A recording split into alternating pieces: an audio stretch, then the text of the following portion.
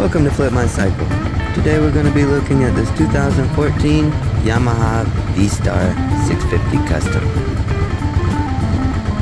You want to learn how to ride a motorcycle but don't have any experience?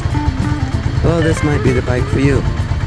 The Yamaha V-Star 650 is user-friendly, lightweight, and easy to handle. And it's shaft drive.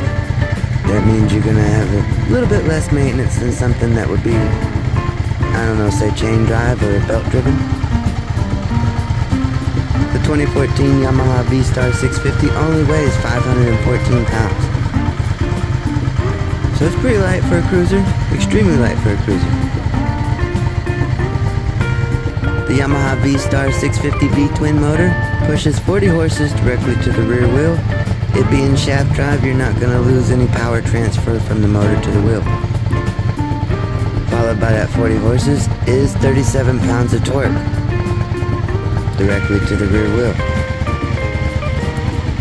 The Yamaha V-Star 650 is fed by a 4.2 gallon gas tank, offering the rider a very impressive 50 miles to the gallon. So not only would this great be a great beginner bike, but it would also be a great daily driver and a gas saver. Being shaft driven, you don't have to worry about changing your sprockets or your chains when it comes time to change the rear tire. All you have to do is put a new tire on it and you're ready to ride again. If this is something that you're interested in, come by Flip My Cycle today and check out this 2014 Yamaha V-Star 650.